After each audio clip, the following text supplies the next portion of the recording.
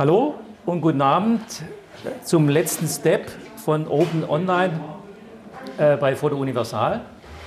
Ähm, wir haben noch ein paar Highlights heute für Sony und äh, wir haben den Max wieder äh, zu Gast, der uns dann ein bisschen was zu den aktuellen Highlights der Sony-Objektive sagt.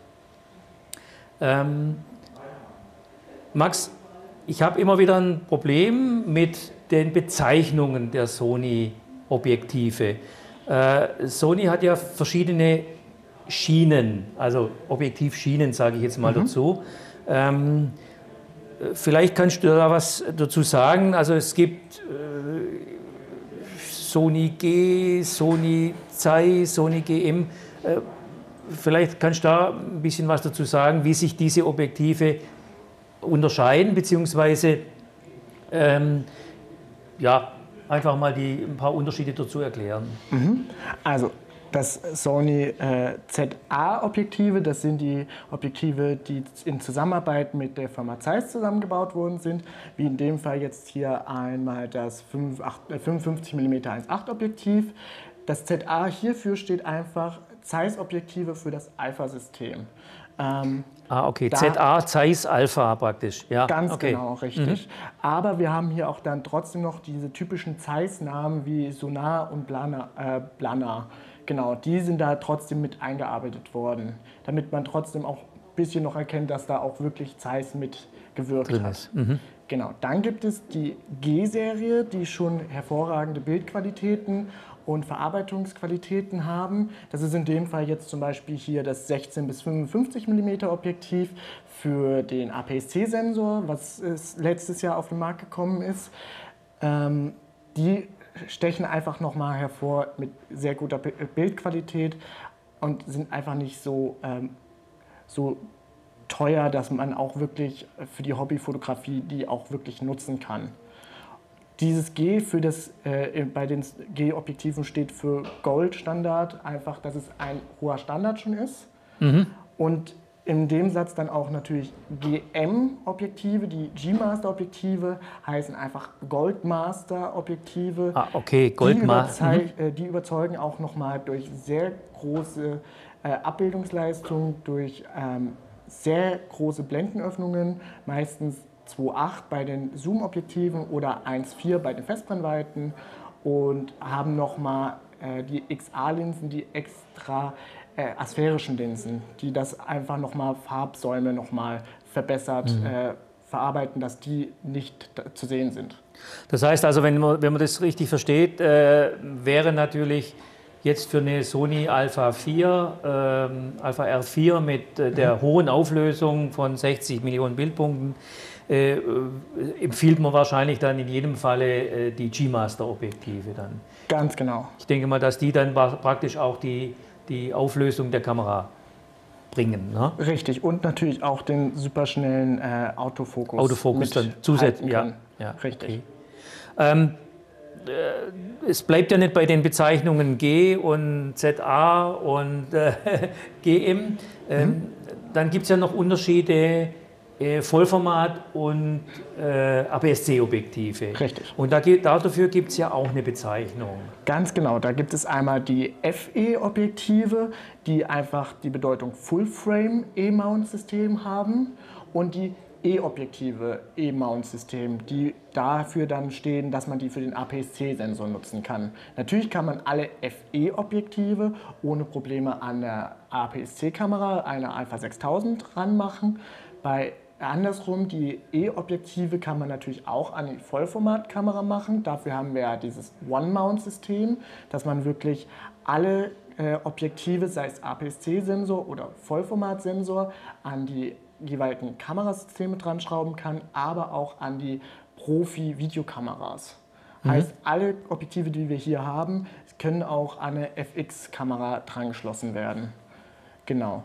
Und man muss halt dann nur beachten bei den E-Objektiven, dass man dann den Super 35 mm ähm, Einstellung aktiviert hat. Das, da man mhm. sonst natürlich ähm, ein, äh, diese schwarze Verzeichnung haben. Okay, ähm, lass uns doch vielleicht einmal geschwind noch äh, über die einzelnen äh, Brennweiten reden. Also mhm. ähm, Sony hat die, die, die Bezeichnung des, des, Steps heute, nennt sich ja Sony Highlights, mhm. Objektive. Und ähm, da gibt es wohl momentan ein ganz tolles Superobjektiv im, im Weitwinkelbereich, mhm. im Weitwinkel-Zoom. Wenn du uns das mal vielleicht zeigen könntest, welches ist das? Das ist hier das äh, 12 bis 24 mm Objektiv. Das ist jetzt neu auch. Äh, es ist, ich glaube, nur ein paar Monate alt. Ähm, es ist mit einem neuen Fokusmotor auch eingearbeitet worden, dass das wirklich auch schnellen, äh, schnellen Fokus natürlich ähm, äh, standhält, auch jetzt zum Beispiel in der neuen 7S3, über die wir ja morgen mal reden, aber auch in der 7C, über die wir es ja heute Vormittag schon mhm. mal hatten. Weil das müssen die ja mittlerweile einfach standhalten. Was bringt mir denn eine superschnelle Fokuskamera, wenn die Objektive nicht schnell genug wären? Ja. Genau. Das ist wirklich hier bei diesem Objektiv äh, der Fall. Und die Linsen sind wirklich so gut verarbeitet, dass wir fast keine Verkrümmungen mehr am Randbereich haben, was ja mhm. viel gerade im, Weit-, im Ultraweitwinkelbereich äh, ja. ist. Ich meine, 12 mm ist ja enorm. Also bei 12 mhm. mm bei Vollformat ist ja im Grunde genommen muss ich ja aufpassen, wahrscheinlich, dass ich meine, meine Füße nicht mit drauf kriege. Ne? genau. So richtig. ähnlich. Ne? Also äh, es ist aber kein Fisheye-Objektiv, sondern es ist also wirklich ein, ein richtig gutes Weitwinkelobjektiv. Ultraweitwinkel. Ein genau. Ultraweitwinkel, äh, das praktisch verzeichnungsfrei ist. Ähm, ich weiß natürlich, das Objektiv liegt bei dreieinhalb, sowas. So ist natürlich auch nicht gerade ein Schnäppchen. Aber ich denke mal, für einen Architekturfotografen äh, das Ideale. Oder für den klassischen Landschaftsfotografen, denke ich mal, ist es das richtige Ganz genau. Objektiv. Richtig. Ähm, wie sieht es denn aus mit äh, Festbrennweiten? Haben wir da noch mhm. irgendwie ein, ein, interessantes Objektiv dabei? Natürlich. Ähm, wir haben hier zum Beispiel das 24 mm mit Blende 1,4. Ähm, hat auch einen neuen Fokusmotor bekommen, um das wirklich standzuhalten. Das mhm. Besondere bei den Festbrennweiten G-Master-Objektiven ist wirklich der eingebaute Blendenring. Den kann man wirklich, da kann man am Objektiv selber die, ähm, die Blende einstellen und hat noch den Vorteil, dass man hier drüben den Klickschalter hat. Heißt, man kann entweder die Blenden wirklich über Stufen äh, hinweg einstellen oder indem ich das Klicken deaktiviere, dass das wirklich flüssig äh, Praktisch Stuf werden kann. Stufenlos dann? Ganz genau. Gerade für den Videofilmer ist das dann äh, ganz interessant. Ne? Richtig, ne? für die, die das manuell wirklich umstellen wollen, ist das ideal. Mhm. Für die, die jetzt eine 7S3 haben, mhm. werden dann wahrscheinlich das der Kamera selber benutzen. Okay. Haben wir noch irgendwie was im Weitwinkelbereich? Da sind wir, das sind so, sagen wir mal, die zwei Top-Objektive. Einmal das äh, 1224, mhm. das ist eigentlich ein äh, exzellentes, ich habe auch schon viel drüber gelesen und mhm. auch schon Bild, Bilder gesehen. Also das ist wirklich äh, bombastisch. Also gerade im Architekturbereich kann man ja also wirklich super tolle Sachen machen. Richtig. Ähm, auch im Porträtbereich haben wir ein bisschen was. Äh, Richtig. Da wäre welches Objektiv jetzt äh, für den klassischen Porträtfotografen äh, interessant? Also der klassische Porträtfotograf nimmt so zwischen 50 und 85 mm.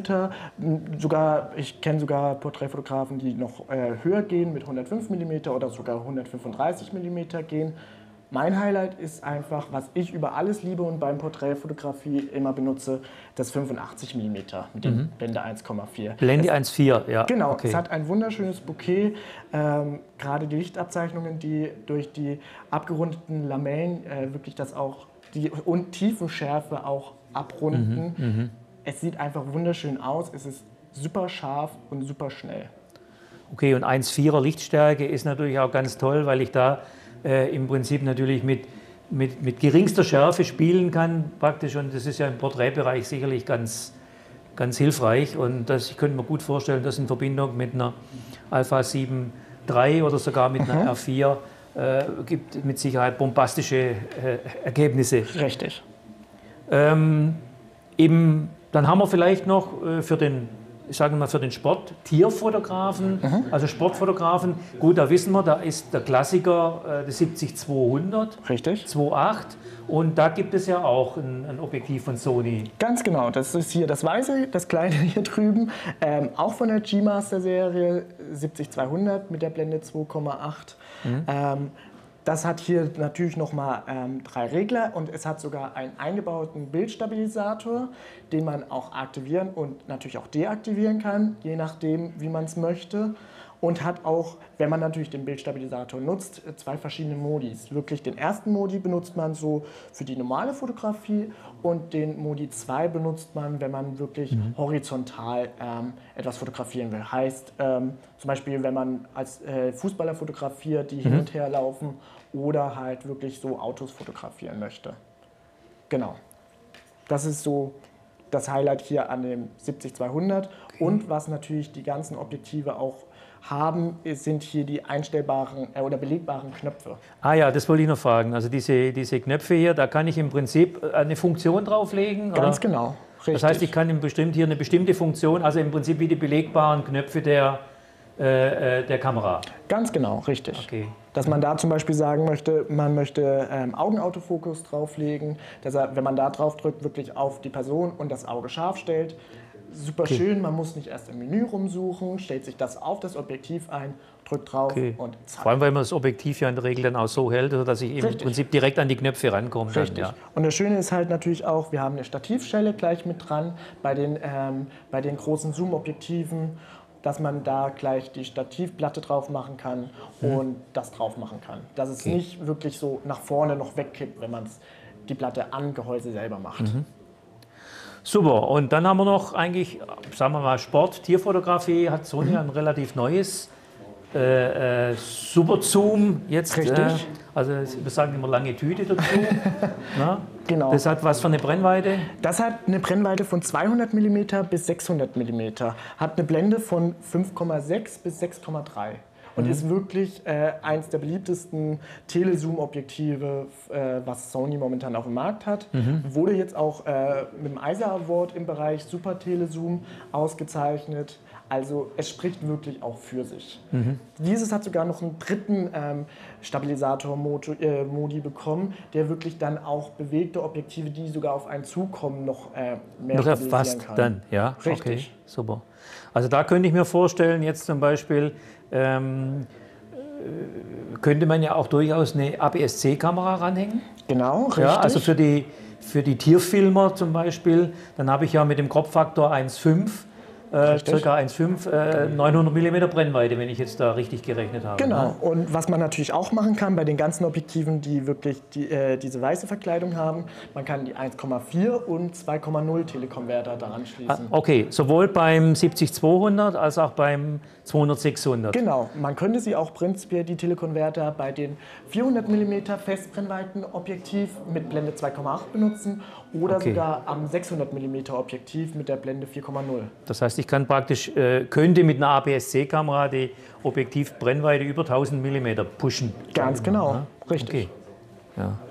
Jo, äh, im Grunde genommen haben wir jetzt so die, die, die, eigentlich die Highlights abgeklappert. Sony hat natürlich ein ein Riesenprogramm an äh, äh, vielen anderen Objektiven, Festbrennweiten, unterschiedlichste Lichtstärken, äh, kompakte Objektive. Also es ist für den Filmer im, äh, was dabei. Es ist also im Prinzip für äh, jede Anwendung in irgendeiner Form äh, was dabei. Und es gibt natürlich dann noch ich sage es mal auch High-End-Objektive. Das haben wir jetzt nicht hier stehen und haben es auch nicht dabei, weil es ist ein Objektiv, das natürlich auch preislich äh, im Mittelklassewagenpreis mhm. irgendwo liegt. Äh, das ist das äh, 400 mm 2.8 und das 600 mm 4.0 würden auch hier jetzt unseren Tisch, glaube ich, auch schon sehr ausfüllen, ja. sodass die jetzt mal nicht hier mitstehen. Das sind also extrem lichtstarke Objektive, die dann eben auch wirklich für äh, äh Fotografieren in der Dämmerung oder sonst irgendwie äh, geeignet sind.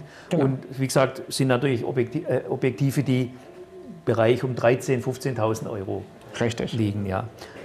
Super, okay. Da haben wir noch eine Frage aus der YouTube-Community. Ja. Die Frage ist, wo programmiere ich die Tasten an den Objektiven? Das muss man äh, in der Kamera selber sogar ähm, programmieren. Da gibt es den Punkt mit den belegbaren äh, Tasten, die man da einstellen kann. Also da, wo ich auch die Tasten des Kamerabodies äh, programmiere, äh, finde ich dann auch die Tasten des angeschlossenen Objektivs genau. und kann die belegen. Ja. Wunderbar, Dankeschön. Okay, dann haben wir noch, daran noch eine Frage beantwortet.